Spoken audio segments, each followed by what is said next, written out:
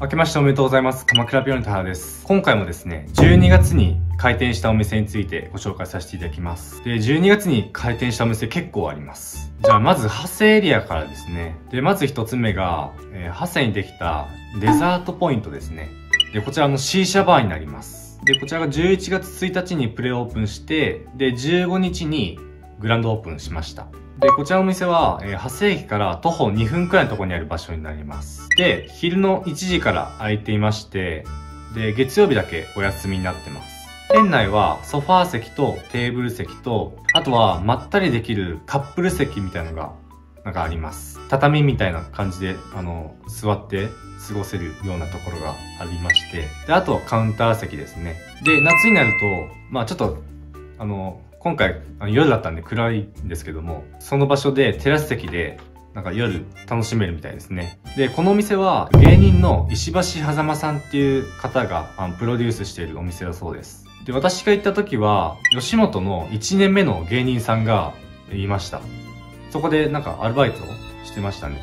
ですので、まあ芸人さんがあの経営しているってことなので、結構愉快な C 社バーになると思います。ちょっとまだあの、オープンして間もない頃だったんで、ちょっと結構閑散としてましたけども。で、C 社はニコチンありとニコチンなしが選べて、値段は、えっと、ニコチンなしの方が若干値段は下がるんですけども。ただ、ニコチンありだと、えー、種類が結構あったんですよね。で、ニコチンなしだと種類がちょっと5種類ぐらいになっちゃう感じですね。ちょっと今回、あの、お客さんと言ったんですけども、私もお客さんもタバコ吸わないっていうことだったんで、ニコチンなしを選びました。で、今回頼んだのが、えー、トロピカルフルーツ味ですね。で、私のお客さんと挑戦しました。で、まあ、タバコを吸ったことがなかったんですけど、まあ、楽しめましたね。なんか、アトラクションみたいな感じで。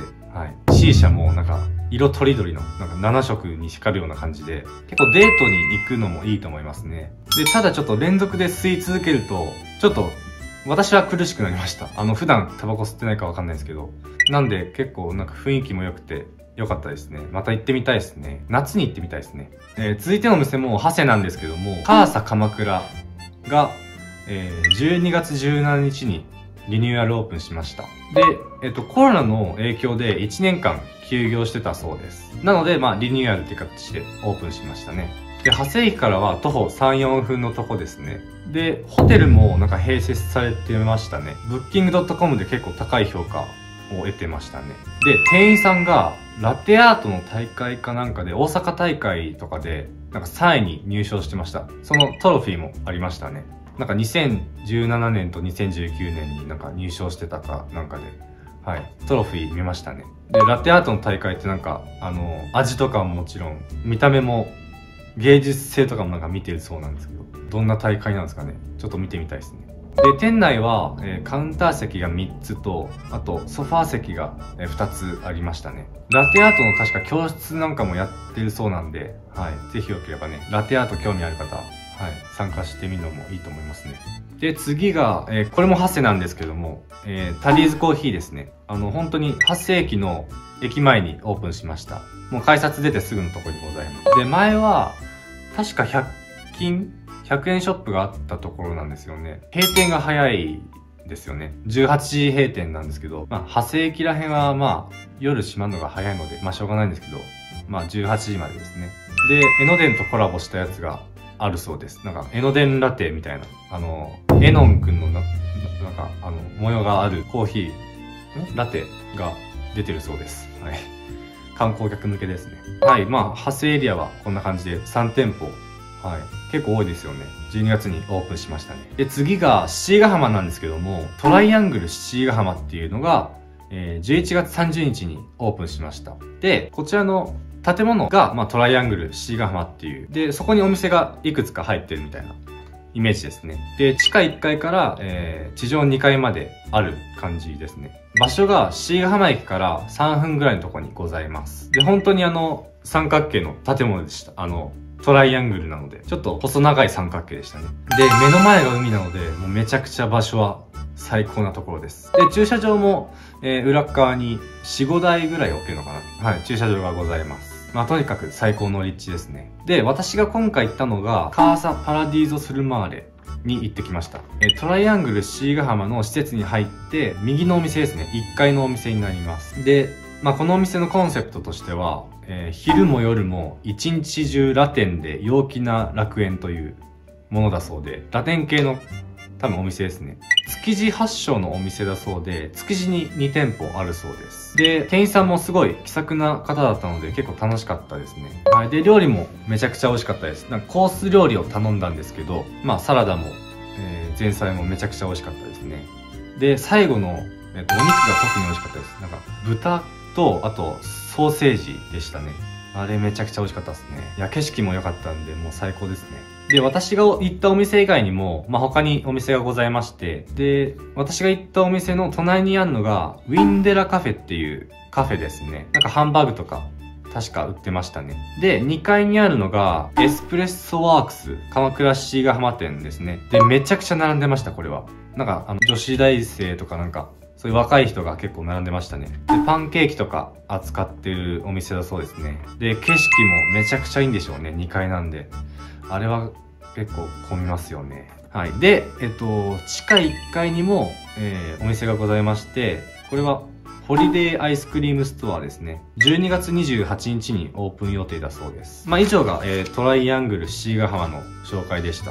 で、海沿いはそんなとこですね。で、次が小町通り沿いのとこですね。で、まず一つ目がワンダーバーグさんですね。これ12月10日にオープンしました。で、小町通りから少し離れたとこにあるお店です。で、鎌倉で超有名なアマルフィさんのあの、系列店だそうですね。で、店内はもうすべてカウンター席であります。で、なんか、カウンター席で、えー、目の前に鉄板がずらーってなってて、そこでハンバーグとかステーキを焼いてくれる感じですね。で、注文の仕方は、まあ、食、食券機で頼みます。ただし、ちょっと現金だけでしたね。ちょっと開店当初だからちょっとわかんないんですけど、現金だけだったので。で、メニューは、まあ、ハンバーグはもちろんのこと、まあ、ステーキとか、いろいろなんか、ソースとかも選べたりして、結構種類多かったですね。で、今回私は、えー、ワンダーバーグセット、まあ基本的なものを頼みましたね。で、ご飯はおかわり自由でした。ありがたかったですね。で、席の引き出しの中があるんですけども、そこにあのお箸とかナプキンが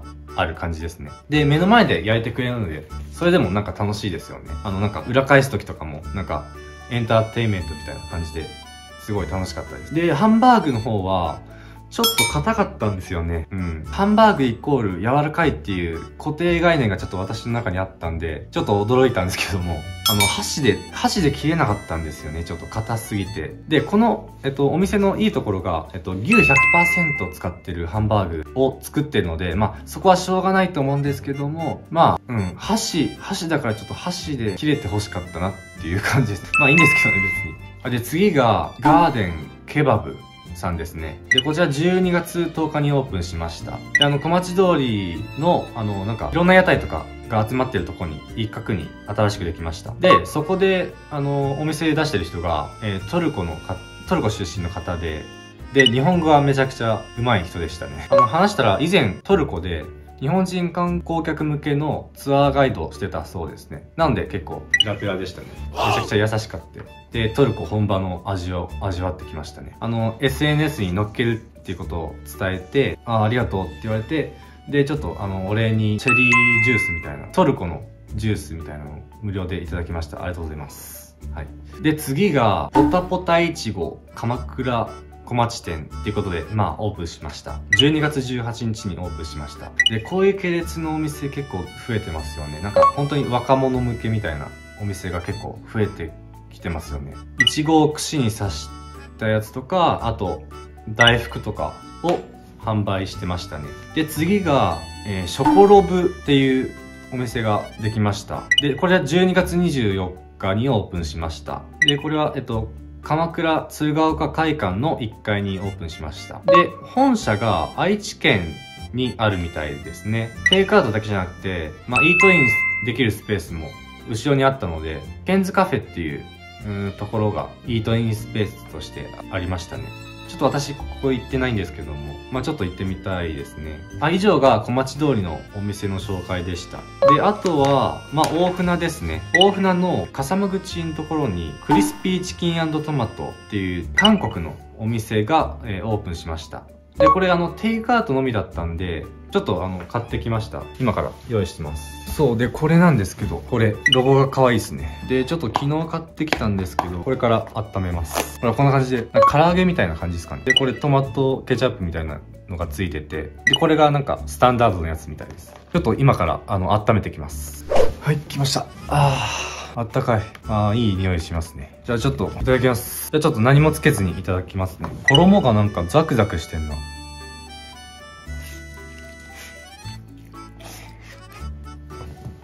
うん、うまめちゃくちゃジューシーです。うん。普通にこのままでもうまいよ。じゃあこれかけてきます。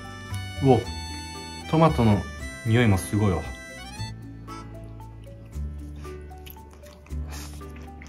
うん、うまっ。あ、うまい。ケチャップかけてもめっちゃうまい。そりゃそうや。そうなんかいろんなところになんかクリスピーチキントマトのお店があるそうなんで、なんか東京にも結構あるそうなんで、ようやく進出してきたってことで。隣にあの、ケンタッキーがあるんですよね。と、隣っていうか結構近くに。なんでそこと競合になるんですかね。イートインスペースがないのがちょっとあれですね。残念ですね。いや、でも、ケンタッキーより好きかもしれない。これがうまい。トマト。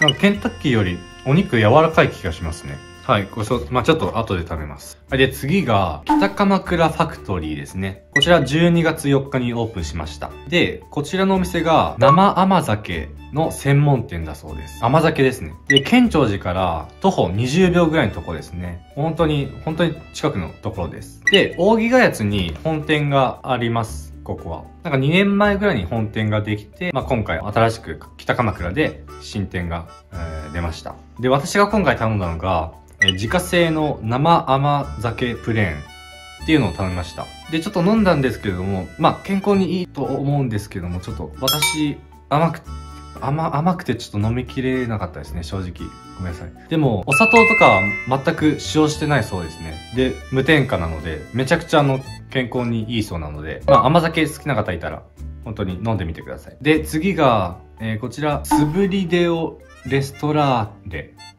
さんが、まあ、オープンしました。まあ、移転ですね、これは。恵比寿にお店があったそうなんですけども、そこから、恵比寿から移転してきて、えー、鎌倉に出したそうです。で、こちら、あの、ビストロのお店だそうですね。で、由比ヶ浜にある、あの、住宅街の一角にできたお店だそうです。で、次が、えー、長谷に新しくできたお宝屋さんですね。まあ、多分宝石とか扱ってるお店ですね。買い取りとかですかね。で、次が、えー、ローソンの、えー、鎌倉手広店がオープンしました。12月2日にオープンしました。また、鎌倉市にコンビニが増えました。で、最後、えっと、12月にオープンしたお店ではないんですけど、ちょっと見逃してたお店がありまして、で、それが、裏鎌倉っていうお店で、で、そこはあの、この、ちょっと買ってきたんですけど、手まり寿司っていうのが主要商品だそうで、ちょっと買ってきました。結構1個高いんですよね。これ1個まあ安いのは80円とか、高いのだとちょっと200円とかあるんですけども。で、えっと、場所はグルメシティの近くですね。あの、ポンポンカフェの隣にございます。で、その店主さんが、えっと、私の、あの、中学の先輩で、で、こんな感じで見れますかね。卵、いなり、サーモン漬けいくらと、あと、ローストビーフかな、これ。あ、じゃあちょっとサーモン漬けからいただきます。うん。